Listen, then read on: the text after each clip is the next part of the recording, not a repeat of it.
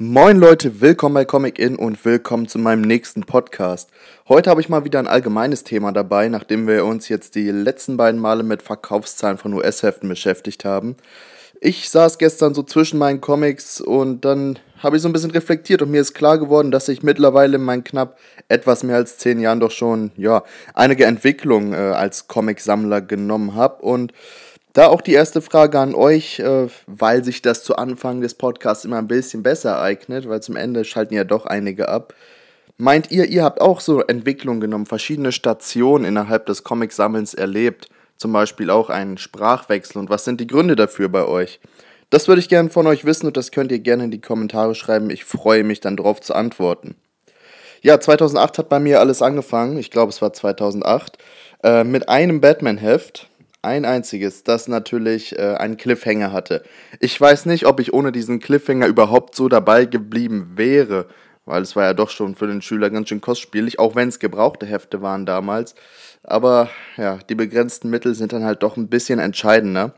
Auf jeden Fall Cliffhanger in der Saga Der Fluch von Batman. Und dann bin ich wieder zu Comic Culture rein und der hatte zu diesem Zeitpunkt wirklich Unmassen an Dino-Comics. Jetzt nicht unbedingt jede Ausgabe zigmal darum liegen, aber zum Beispiel von der Batman-Reihe hat er halt fast jedes Heft einzeln für 1 Euro darum liegen. Special für 2 Euro. Und dann bin ich jeden Tag nach der Schule hin, hab mir mein Heft mitgenommen. Ah, vielleicht auch nicht jeden Tag, sondern so jeden zweiten. Äh, und konnte dann meine Dino-Sammlung fast nur mit Comic-Culture-Käufen vervollständigen so die, das letzte Drittel, da musste ich dann ein bisschen mit auf Ebay zurückgreifen, aber sowas wie Ostern, Geburtstage und so weiter ähm, haben dann das Übrige dazu getan. Ja, 2008 bis 2010 habe ich also nur von gebrauchten Heften gelebt. Erst Batman, dann die JLA, dann kam Superman dazu, die Crossover nicht zu vergessen, die damals äh, auch erschienen sind bei Dino und Marvel Deutschland. Und da habe ich auch beide Serien gehabt. Uh, noch was, auf Spider-Man bin ich dann gegangen. Marvel Deutschland Spider-Man war da meine erste Serie, die von Anfang der 2000er, diese ewig lange, die dann zweigeteilt wurde. Ja, äh, das war so mein Start. Und dann so der gestiegene Anspruch. Man kennt jetzt doch schon einige Figuren, besonders aus der JLA. Green Lantern habe ich mir natürlich auch geholt und dann habe ich in der Panini-Vorschau, die ich immer schön mitgenommen habe, ja, ich habe da immer durchgeblättert, geguckt, was passiert so, okay, kann ich mir eh alles nicht leisten, uninteressant. Witzigerweise jetzt, ich hätte gedacht, äh, okay, dann meine Sammlung ist hauptsächlich Batman, damals auch gewesen, dann werde ich mir ja wohl sicherlich die Batman Ongoing-Serie zulegen. Nee, das fand ich damals irgendwie nicht so attraktiv, da dann äh, aktuell reinzugehen, sondern Blackest Night. Die Events haben sie mir damals eher angetan, weil ich doch dachte, da sehe ich eine größere Ansammlung von Helden direkt, von denen ich dann auf einen relativ aktuellen Stand gebracht werde, ohne dass ich die Ongoing lese und deswegen gehe ich in die Events rein. Ähm, damals hat sich aber auch schon gezeigt bei mir, dass ich so ein Event doch gerne komplett haben würde. Denn auch Blackest Night habe ich dann abgewartet, Weihnachten, ich glaube, das streckte sich fast bis Weihnachten, dieses Blackest Night Event. Das ging bestimmt irgendwann Mitte des Jahres los und dann bis Weihnachten. Ähm, da habe ich dann, glaube ich, alles vollständig gehabt, weil ich mir die Monster-Edition gewünscht hatte, die Sonderbände, die ich mir halt sonst nicht hätte leisten können. Das war auch der Punkt, warum ich mir Brightest Day anschließend nicht wirklich leisten konnte. Es war eine super Ausnahme, dass ich mir den ersten Teil, also den ersten Trade, wirklich mal selbst gekauft habe für irgendwie 13, 14 Euro. Und danach war halt direkt wieder Schluss für mich, weil es das Geld nicht hergegeben hat. Äh, auch die habe ich mir dann, glaube ich, nächstes Weihnachten gewünscht. Da, wo sie noch erhältlich waren, zum Glück. Ja, aber 2010 war dann halt so der erste Punkt, wo ich mit Blackest Night Nummer 1 mein erstes richtiges neues Panini-Heft gekauft habe und da war ich auch super stolz drauf. Die habe ich tatsächlich auch alle selber gekauft, weil das war was ganz, ganz Großes für mich. Ähm, bis 2012 habe ich allerdings wirklich kaum neue Hefte gekauft. Batman habe ich irgendwann angefangen. Ich glaube, ich habe sogar eher noch Simpson-Hefte neu gekauft, als dass ich wirklich Superhelden-Hefte gekauft hätte. Ja, warum auch immer. Hätte ich lieber die Simpsons weglassen können und dafür, keine Ahnung, was lief noch damals als Heft? Batman, die Events? Da gab es gar nicht so viel, ne? Superman lief als Trade. Da gab es gar nicht so viel, aber die Batman-Sachen hätte ich schon früher kaufen können. Da war ich dann tatsächlich, ich weiß nicht, vor dem New 52-Start äh, vielleicht 5, 6, 7 Hefte bei Batman dabei. Schade, weil das große Event, das hat halt vorher gespielt mit Rip und da bin ich dann quasi eingestiegen, als das zu Ende war. Ja, aber ab 2012, da ähm, ging für mich eine Phase los. Ich weiß nicht, ob ich da irgendwie groß äh, Reserven zurückgelegt habe an Geld. Vielleicht habe ich auch einfach mehr Taschengeld bekommen, das wird es wohl gewesen sein. Und man hat ja auch noch den monatlichen Veröffentlichungsrhythmus, nicht wie jetzt, dass viele Serien doch zweiwöchentlich liefen und dadurch Panini immer und immer weiter Sonderbände rausknallt. Das war damals ja noch nicht so. Ähm, mit der New 52 haben wir ja wieder ein deutlich breiteres Programm bekommen von Panini. Und da wollte ich dann in den zumindest großen Serien auch auf jeden Fall aktuell dabei sein. Ähm, Green Lantern, immer gekauft. Stimmt, die Green Lantern Sonderbände nach Blackest Night, die hatte ich mir auch von meinem eigenen Geld gekauft. Das war auch mal was ganz Besonderes für mich und bis heute bin ich happy über diese Entscheidung. Ähm, genau, da, ich bin in Flash eingestiegen mit der Nummer 1. Die Heftserien habe ich alle gekauft tatsächlich. Die Finanzen hatte ich damals. Ähm, waren ja, ich glaube, vier Stück. Superman, zweimal Batman und Justice League. Die vier müssen es gewesen sein. Aber sowas wie Wonder Woman und so, das äh, hatte ich auch noch nicht so wirklich auf dem Schirm, habe ich mich nicht für interessiert und deswegen hatte Wonder Woman zumindest keine Chance bei mir. Und ja, es ist bei den großen männlichen Namen geblieben. Events natürlich immer, Flashpoint natürlich auch. Da hatte ich tatsächlich auch das komplette Event dann gekauft, außer die Monster-Edition, ja. Was mit der Zeit dann ein bisschen ärgerlich wurde, aber gut.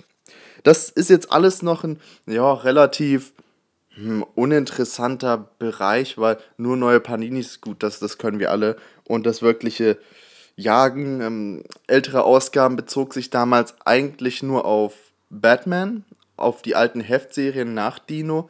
Hm, war nicht ganz leicht, aber durch Comic Culture kam ich da schon gut an Sachen ran.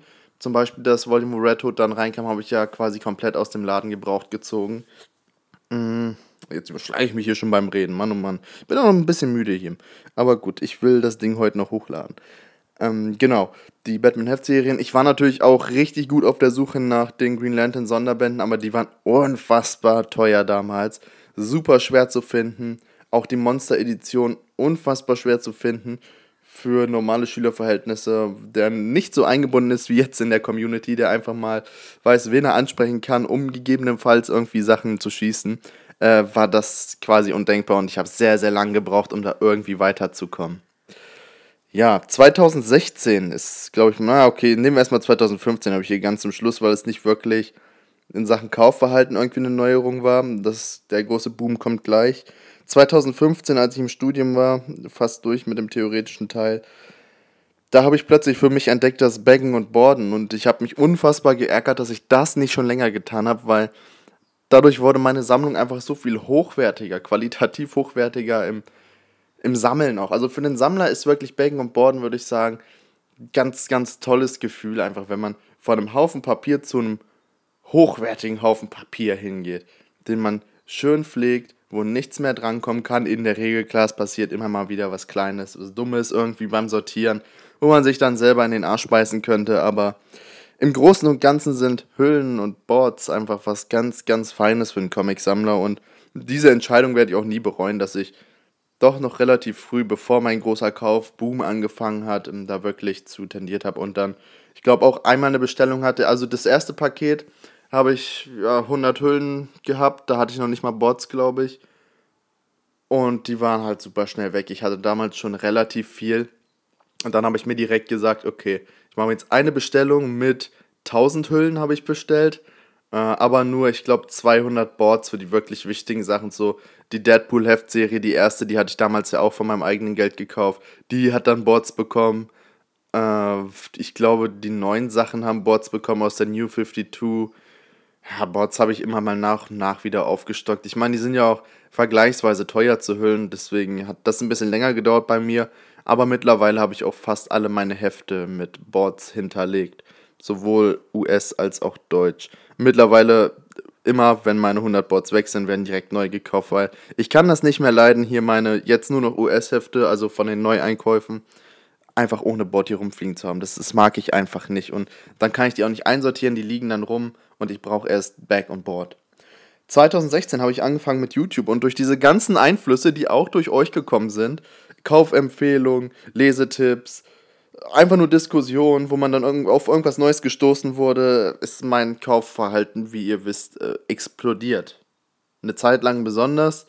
Es war eigentlich eine stetige Zunahme und äh, jetzt, gut, es App Deutsch ab, aber dadurch, dass ich jetzt viele deutsche Sachen ersetze, habe ich schon wieder so einen leichten Kaufboom und ich entdecke für mich diesen neuen Markt immer und immer mehr englische Comics und das preisliche Verhältnis stimmt manchmal nicht ganz zu den deutschen Sachen. Da kannst du hier einen Megaband verkaufen und kannst dir dann ein US-Heft leisten. Was aber auch eine schöne Sache ist als Sammler. Ich bin ja immer Gegner dieses deutschen Comic-Werteverfalls, der hier betrieben wird. Und damit der auch so auf den Sack geht, finde ich das echt schön, einfach mal auch ein Heft für 30 Euro zu kaufen. Auch wenn es sich im ersten Moment viel anhört. Aber du weißt dann, du hast was Besonderes, was in dieser Form sein Geld wert ist und was auch nicht so schnell absinken wird wie bei deutschen Veröffentlichungen. Ja, außerdem weißt du dann, du hast es komplett, du hast es alles einzeln, du bekommst nicht irgendein Trade geliefert, wo irgendwas wieder ausgelassen wurde. Die Zeiten habe ich jetzt hinter mir. Das muss nicht sein. Deswegen habe ich mich jetzt auch von meinen Panini Tod von Superman und Panini Nightfall getrennt. Carlson Nightfall habe ich jetzt vorbereitet, dass ich den auch verkaufe. Auch wenn wirklich äh, an diesen Sachen Herzblut hängt von mir, ja. Aber ganz ehrlich, da nehme ich lieber das Geld und besorge mir noch irgendwas anderes Feines, als dass ich es einmal komplett als US und zweimal unkomplett als Deutsch hier rumstehen habe. Deswegen musste das einfach weg. Er spart mir viel Platz. Ist jetzt so gekommen. Ja, der YouTube-Boom, so habe ich ihn hier bezeichnet 2016 ich habe mich natürlich auch viel, viel mehr mit Comics beschäftigt, wo ich schon an sich dran war, ansatzweise in Sachen Batman, in Sachen Green Lantern, habe ich immer mal geschaut, was ist wie rausgekommen, was haben wir nicht bekommen. Die Superman-Dino-Lücke habe ich schon angefangen zu vervollständigen, da war ich noch in der Schule. Das ist Jahre her, die ich jetzt auch mittlerweile voll habe. Äh, aber das sind so Sachen, da bin ich dann noch viel, viel tiefer reingegangen. Ich, ich habe mir plötzlich angeguckt, was für verschiedene Heftserien gibt es damals als Comic Newbie. Da guckt man sich die Dino-Hefte an und denkt ja grundsätzlich, das ist eine fortlaufende Reihe. Ist es ja nicht. Da sind Specials drin, da sind vier fortlaufende Reihen drin. Das hat man ja alles nicht so auf dem Schirm. Ähm, man guckt, wo sind Crossover, die wir nicht bekommen haben. All sowas, was gehört noch dazu, was sind Tie-Ins, die wir nicht bekommen haben. Panini hat da immer einigermaßen guten Service geliefert, aber so großflächig abdeckend war das halt auch für die nicht möglich uns irgendwie eine ganz detaillierte Auflistung nicht veröffentlichter Dinge zu bringen. Vielleicht auch ganz clever für den Moment, wo man sich denkt, vielleicht bringen wir es ja selber nochmal als Panini Verlag. Bevor man sich da, bevor sich alle die US-Hefte kaufen, auf die wir aufmerksam machen, machen wir uns die Chance nicht kaputt. Ja, aber gut. Äh, also da bin ich sehr, sehr viel tiefer reingekommen und wie gesagt, zu Anfang war ja der Comic-Tuber-Markt oder unsere Community an sich auch noch etwas größer, so habe ich es zumindest im Gefühl ja, dass man doch deutlich mehr Einflüsse bekommen hat und äh, Kaufempfehlungen. Mittlerweile ist das Ganze ja überschaubar, überschaubarer, besser gesagt. Die Jungs machen weniger Videos, ich persönlich auch. Wir sind ja alle mal mit dem Anspruch gestartet, wie andere jeden Tag ein Video rauszuballern. Irgendwann wurden es dann äh, zwei zweitägige Videos, äh, dann alle drei Tage mal, dann einmal die Woche, dann zweimal im Monat. Und jetzt äh, versuche ich ja wieder ein bisschen mehr zu machen. Wobei mir die Podcasts auch sehr gelegen kommen, weil es halt einfach ein bisschen weniger Arbeit ist mit dem Rumgeschneide. Zum Beispiel das hier werde ich gar nicht schneiden und einfach hochballern. Ja. 2016 bis 2019 war halt ein übelster Kaufrausch für mich. Ein einziger Kaufrausch eigentlich. Das äh, habe ich mir immer gewünscht, weil ich ein absoluter Sammler bin im Herzen. Das hat damals mit Pokémon-Karten angefangen, mit Yu-Gi-Oh! Karten, all das mit Stickern und dann irgendwann mit Comics, aber halt nicht in diesem Ausmaß. Und dann, als ich mein eigenes Geld verdient habe, mein eigenes gutes Geld, konnte ich es mir halt auch leisten und diesen Luxus leiste ich mir auch sehr gerne. Ja, 2019 dann der US-Umstieg, wo ich für mich gesagt habe, okay, ich werde umsteigen. Ich lese jetzt mittlerweile sehr, sehr gerne US das habe ich auch durch andere Comicleser, ähm, Comic-Tuber besonders kennengelernt, zum Beispiel Flo. Und für mich ist es einfach sinnvoll, da dann auf den US-Markt zu wechseln, weil ich kaufe mir eh sehr viele Sachen dann teurer nach, die wir hier vielleicht nicht bekommen. Ich komme da schneller an die Sachen. Ich bin absoluter Heft-Fan. Ich liebe Hefte. Ich habe gern seltenere Sachen, habe ich euch gesagt. Wenn man dann sieht, man kauft sich ein Heft für 4 Dollar, 5 Dollar und zwei Wochen später geht es einfach schon 20 Dollar. Es ist einfach ein ganz tolles Gefühl für mich. Weiß ich nicht. Da, da denke ich, okay, ich habe wirklich was Besonderes. Hm, Hefte als Wertanlage ist ja immer so die Frage. Ich sehe es jetzt nicht als Wertanlage an, aber ich freue mich megamäßig, wenn es halt im Wert steigt. Ich weiß, dass ich mit Comics keine Millionen verdienen kann, das sollte jedem klar sein, auch keine Tausende. Aber ich freue mich halt mega, wenn ich ein seltenes Stück in meiner Sammlung habe. Und das ist absolut aufgrund dieser, dieser Sammelleidenschaft wirklich. Jetzt nicht nur auf Comics bezogen, sondern Sammeln an sich. Das ist halt prägend dafür, finde ich. Und deswegen ist US einfach für mich eine ganz logische Konsequenz mittlerweile geworden, wo ich anfangs gesagt hätte, ach niemals, ich bleibe mir immer treu mit meinen deutschen Sachen, aber gut. Auch, dass ich mal meinte, ich werde hier nichts davon verkaufen, das äh, löst sich jetzt nach und nach auch alles auf und ich gehe halt meinen Weg immer weiter in die Richtung Einzelhefte Englisch.